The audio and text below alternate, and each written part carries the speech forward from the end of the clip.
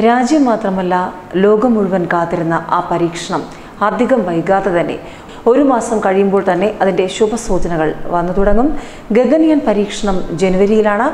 അതുകൊണ്ട് തന്നെ ലോകം ഇന്ത്യയെ ഉറ്റുനോക്കുകയാണ്. ഗഗൻയാൻ ഒരുങ്ങുകയാണ്. മനുഷ്യപേടക പരീക്ഷണം ജനുവരിയിൽ തന്നെ തുടങ്ങും. ഇറക്കുന്ന പരീക്ഷണം ജനുവരിയിൽ ഇന്ത്യയുടെ ആദ്യ ബഹിരാകാശ മനുഷ്യ ദൗത്യമായ ഗഗൻയാൻ യാഥാർത്ഥ്യമാക്കാനുള്ള അന്തിമ പരീക്ഷണങ്ങൾക്ക് അടുത്ത മാസം ശ്രീഹരിക്കോട്ടയിലെ സതീഷ് ധവാൻ സ്പേസ് സെന്ററിൽ തുടക്കമാകും.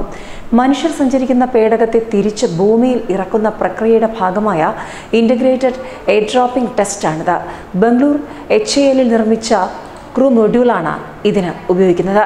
പേടകത്തിന്റെ വേഗത നിയന്ത്രിക്കുന്ന റിട്രോ ഫയറിംഗ് കടലിൽ ലാൻഡ് ചെയ്യുന്ന സ്പ്ലാഷ് ഡൗൺ പേടകം വെള്ളത്തിൽ പൊങ്ങിക്കിടക്കുന്ന ഫ്ലോട്ടേഷൻ തുടങ്ങിയ പരീക്ഷണങ്ങളും ഇതിന് പിന്നാലെ നടക്കുമെന്നാണ് സൂചനകൾ. ഗഗൻയാൻ വിക്ഷേപണത്തിന്റെ മുന്നൊരുക്കങ്ങൾ ഐ എസ് ആർഒയുടെ വിവിധ കേന്ദ്രങ്ങളിൽ നടക്കുകയാണെന്ന് ബംഗളൂരുവിലെ human space flight centre director doctor S Unnikrishnan Nair പറഞ്ഞു. തിരുവനന്തപുരത്തെ വി എസ് എസ് സിയിലാണ് സ്പേസ് സ്യൂട്ട് നിർമ്മിക്കുന്നത്. ബഹിരാകാശ സഞ്ചാരികളാകാൻ തിരഞ്ഞെടുക്കപ്പെട്ടവരുടെ പരിശീലനം റഷ്യയിൽ നടക്കുകയാണ്. പരീക്ഷണങ്ങൾ injection separation re entry Gaganyaan പേടകം ബഹിരാകാശത്ത് ജി എസ് എൽ വി റോക്കറ്റിൽ നിന്ന് സുരക്ഷിതമായി പുറന്തള്ളുന്ന അടക്കമുള്ള കാര്യങ്ങൾ എല്ലാം നടന്നുകൊണ്ടിരിക്കുകയാണ്.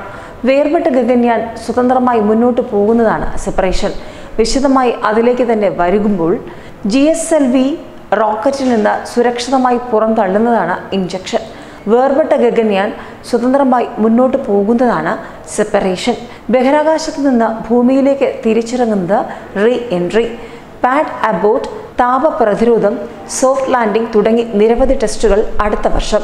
ഇന്റഗ്രേറ്റഡ് എയർ ഡ്രോപ്പിംഗ് ടെസ്റ്റ് അതായത് മനുഷ്യ പേടകം ഹെലികോപ്റ്ററിൽ അഞ്ച് കിലോമീറ്ററിന് മുകളിലെത്തിച്ച് പാരച്യൂട്ടിൽ താഴേക്ക് വിടും ആകാശത്ത് നിന്ന് നിയന്ത്രിച്ച് ബംഗാൾ ഉൾക്കടലിൽ ഇറക്കും. താഴുന്നതിന്റെ ഓരോ ഘട്ടത്തിലെയും മർദ്ദ വ്യതിയാനവും അത് നിയന്ത്രിക്കേണ്ട സാങ്കേതിക വശങ്ങളും കണ്ടെത്തുക എന്നുള്ള വലിയ ലക്ഷ്യം. ഏതായാലും പതിനായിരം കോടിയുടെ ഗഗൻയാൻ മൂന്ന് ഇന്ത്യൻ ബഹിരാകാശ സഞ്ചാരികൾ ഇന്ത്യൻ പേടകത്തിൽ ഭൂമിയെ അഞ്ച് മുതൽ ഏഴ് ദിവസം വരെ വലം വെക്കും. ഭൂമിയിൽ നിന്ന് നാനൂറ് കിലോമീറ്റർ മുകളിൽ ഒന്നര മണിക്കൂറിൽ ഒരു തവണയാണ് ഭ്രമണം. പിന്നീട് സുരക്ഷിതമായി തിരിച്ചിറങ്ങും. കരുത്തുറ്റ ജി എസ് എൽ വി മാത്രി റോക്കറ്റിലാണ് വിക്ഷേപണം.